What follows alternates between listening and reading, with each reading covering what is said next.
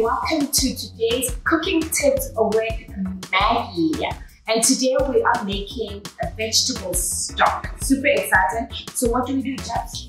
So basically you take the end of your vegetables, like some onions or carrots or even parsley, and just put it all in the pot, add some water and bring to boil.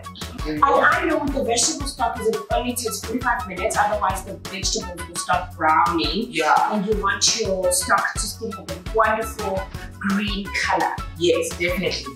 Thank you so much for joining us in today's cooking tips with Maggi. Don't forget to connect with us on our social media pages, which are Maggi South Africa and Wago underscore SA. And don't forget to hashtag open up the kitchen.